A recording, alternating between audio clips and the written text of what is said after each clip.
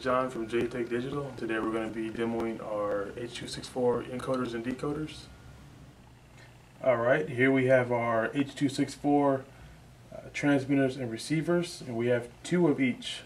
Here are the two transmitters, one from our Apple TV and one from our media player. And we have two receivers, one to our TV on the right and one to our TV on the left. We also have a VLC stream streaming our non-HDCP content. All of your H.264 transmitters and receivers are all going to be interconnected through Ethernet using a IGMP switch. Coming out of the receiver, you're going to want to plug your IRRX in the back, and that's the one with the rectangular shape that will receive the uh, IR from the source device remote.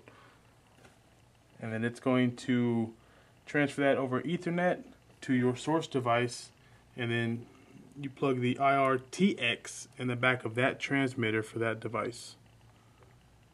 Now coming off the H.264 receiver we have a IR extension. This works with the supplied remote to change the group ID for allowable up to 64 devices, uh, input devices. There's also another way to change the channels is the uh, up and down arrows.